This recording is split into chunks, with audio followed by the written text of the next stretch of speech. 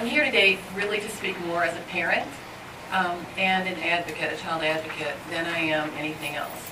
Um, I've worked with young people and high-risk young people for the last 37 years of my life. And uh, I, I know um, that Jefferson County Public Schools offers a wonderful education.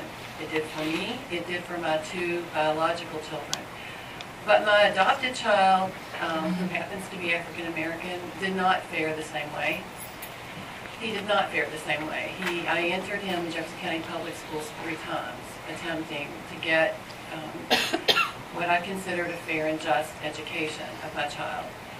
My choice, and I did have a choice, and thank God I had a choice, but my choice was to remove him from that school district and put him in private school and keep him there until he graduated.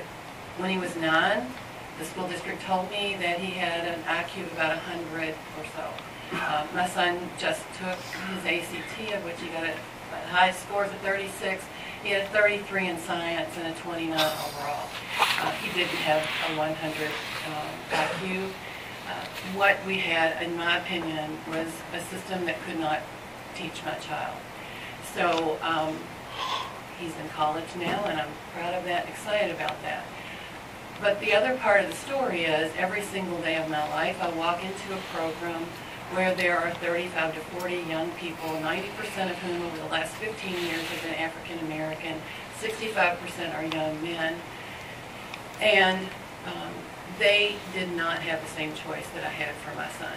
They have not had the same choice in their lives um, through their behavior, their immaturity sometimes, uh, through poverty at times, and many times um, because there wasn't someone who knew how to advocate for them as I did for my own child. What I'm asking is that you give strong consideration this year to the opportunity for young people and their parents to have choices.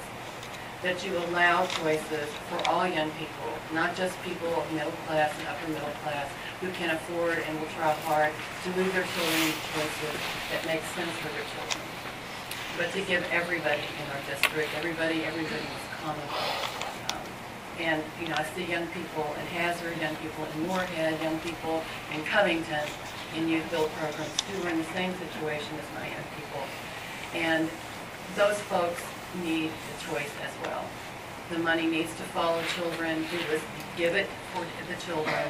You don't give it for the district, you give it for the children, and it needs to follow them so that they can be successful in their education and move on to post-secondary education in, in a future that is bright.